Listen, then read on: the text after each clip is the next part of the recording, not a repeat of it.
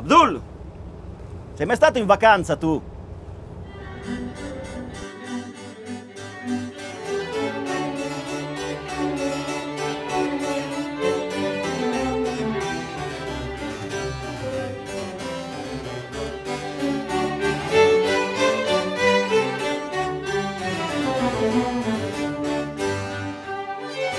E questa è una cosa naturale, si chiama disuguaglianza.